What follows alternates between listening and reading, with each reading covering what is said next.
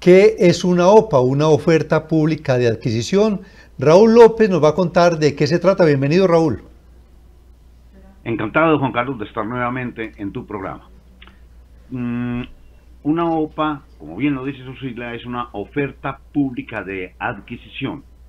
En sí es una operación económica que consiste en que una o varias personas, una o varias empresas ofrecen a todos los accionistas de una compañía que cotice en bolsa. He aquí su primer eh, elemento básico, a todos los accionistas de una compañía que cotice en bolsa y lo hacen por un precio determinado y durante un tiempo determinado. ¿Y cuáles son esas clases de OPA que existen?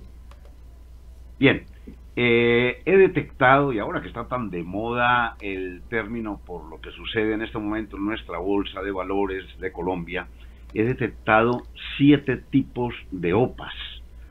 Eh, hay OPAs obligatorias, que es cuando por alguna decisión gubernamental, posiblemente por alguna falla de alguno de los accionistas o de muchos de los accionistas o del accionista mayoritario hay un problema de, índole jurídico por protección a los demás, eh, existe lo que se llama la OPA obligatoria. Hay también las OPAs voluntarias, eh, las OPAs de toma de control, una eh, empresa o un grupo financiero que quiera adquirir el control de una empresa lanza una OPA, propone una OPA de control. Hay OPAs competidoras, que es cuando una compañía o un grupo de empresarios lanzó eh, una oferta y otra viene con la contraoferta. Esa se llama OPA competidora. Hay OPAs de exclusión que son basadas, eh, son básicamente para salvar a los accionistas cuando se va a retirar probablemente de bolsa una acción. Hay OPAs amistosas y hay OPAs hostiles. Qué bueno que expliquemos la diferencia entre estas dos últimas, amistosas y hostiles. Muy bien. La diferencia básicamente consiste en lo siguiente. Una OPA amistosa es aquella en que los oferentes, los proponentes de la OPA, informan al gobierno de la compañía en cuestión, a la presidencia, a la Junta, les informan, vamos a lanzar esta OPA con este precio durante este tiempo determinado y vamos a llevarlo a la superintendencia respectiva que nos apruebe, bien sea bancaria o de sociedades. La OPA hostil, que no es de enemistad, que no es de enemigo, es cuando no se le avisa al gobierno corporativo de esa empresa. Qué bueno, entonces cuéntenos ahora sí, ¿en qué caso se presenta una OPA? ¿Cuándo se hace esa operación?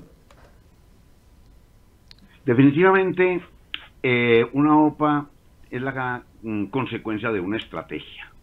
Eh, puede existir un grupo, digamos, de inversionistas con cualquier tipo de objetivo, objetivo de tener el poder de una compañía, con el objetivo de, entrar como eh, capitales golondrina, que es el pisicorre, van, toman acciones, salen eh, y cuando la acción se recupera el precio vuelven y vendan y se van para otra parte. Es definitivamente estratégico de poder o de rentabilidad, mm, eh, según sea el objetivo. ¿Y qué debo tener yo en cuenta como inversionista a la hora de entrar a una OPA? Eh, el inversionista em, debe basarse en su objetivo estratégico. Muchas veces, y como el caso que actualmente estamos presenciando, es probable que el grupo que lanzó la primera OPA en el caso concreto de Nutresa, eh, haya encontrado unas grandes oportunidades en lo bien administrada que está esa compañía, en lo maravillosos que son sus indicadores eh, económicos, su EBITDA, su crecimiento en ventas, su productividad y que vea una oportunidad para mm, hacer esa adquisición. Raúl, finalmente, relación entre OPA y estrategia, porque uno creería que es muy estrecha. Sí, totalmente.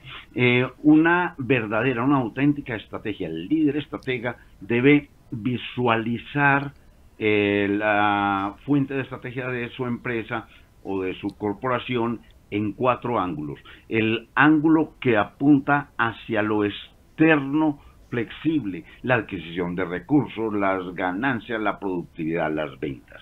Hay otro ángulo que es el, el externo eh, rígido, la planeación, la estrategia, el movimiento.